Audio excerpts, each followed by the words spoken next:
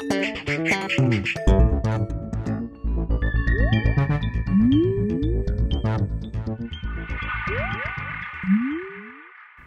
everyone, and welcome to the Vortex, where lies and falsehoods are trapped and exposed. I'm Michael Voris. With all the talk about inclusiveness and tolerance and non judgmentalism and insensitivity that we hear these days, something dramatically important is lost. What's lost is that there are real and substantive differences, differences that matter, that are foundational and definitional. And when we are talking about theology, those differences can mean heaven or hell. For example, when faithful Catholics correctly point out that Protestantism is a heresy, they are slammed immediately for being insensitive.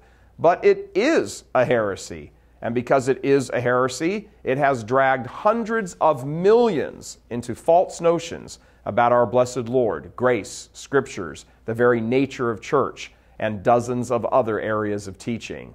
It, Protestantism, the heresy, has denied untold souls access to the fullness of the truth.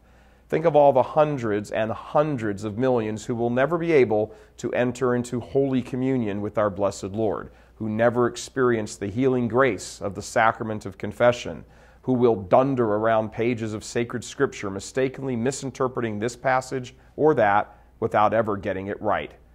The term Protestant applies to a much wider swath of congregations than even many of those congregations are willing to admit. Some of the more recent evangelical con- congregations, for example, with their huge megachurches, are absolutely Protestant, whether they like the term or not. They may be something of a new breed, kind of, or type of Protestant in their worship or individual pastors than Martin Luther, John Calvin, or the original revolutionaries, but they are Protestant nonetheless. The goal of faithful Catholics, clergy as well as laity, should be to convert them and show them the truth, the fullness of the truth granted to Christ's one holy Catholic apostolic church. Period. It should not be to find common ground on various things unless, and only unless, it's a means to show them more of the truth. Protestant theology has absolutely nothing to add to Catholic theology some individual Protestants most likely do bring more to the table with regard to individual morality than some individual Catholics, but that's not what we're talking about here. Any truth that exists in the Protestant ecclesial communities, such as belief in the Holy Trinity, the divinity of Jesus Christ, etc., these are first Catholic truths.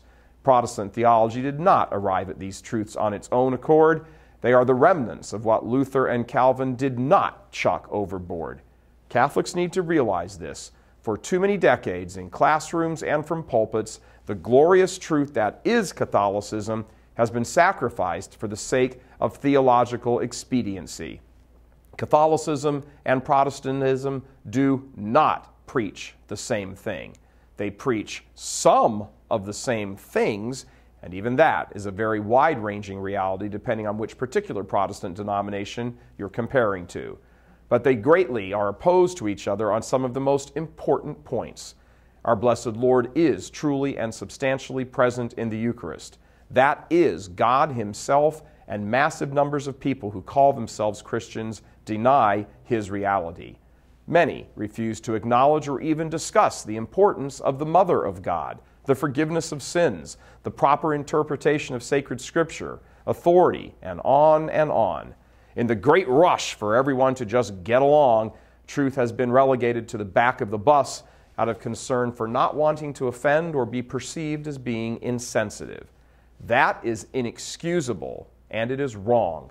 Of course, the truth has to be said in the most palatable method possible, but so many Catholics today, especially some in the clergy, especially some in the clergy, have taken that concern to such a level that even the very truth itself is now viewed as being insensitive. To listen to church leaders pander and grovel to the gods of sensitivity and tolerance at the expense of Catholic truth is sickening. Leaders have the moral obligation to lead, and when it comes to religion, they have the duty to lead people to the right religion. And there is a right religion. Jesus Christ settled that issue 2,000 years ago. A series of bad Catholics in the 16th century caused most of this problem, and it isn't a stretch to say that bad Catholics in the 21st century are keeping the problem alive. If these false ecumenism Catholics who are so concerned about playing footsie with the heresy in the name of getting along are so concerned about sensitivity, perhaps they should consider how insensitive they are being to our blessed Lord Himself, who wills that all men be saved and come to a knowledge of the truth. Their actions, regardless of their motives, are preventing, blocking, and obstructing souls that God has loved from all eternity from coming to the fullness of truth. Now, that's insensitive. God love you. I'm Michael Voris. Please help us keep delivering these kinds of messages that so desperately need to be heard and acted on. Join RealCatholicTV.com today as a premium subscriber. Become immersed in the faith established by Jesus Christ. The Catholic Church is the only hope against evil because that is its God given mission. As our Lord said, apart from me, you can do nothing. Join RealCatholicTV.com today as a premium subscriber and come to learn and love Christ more deeply.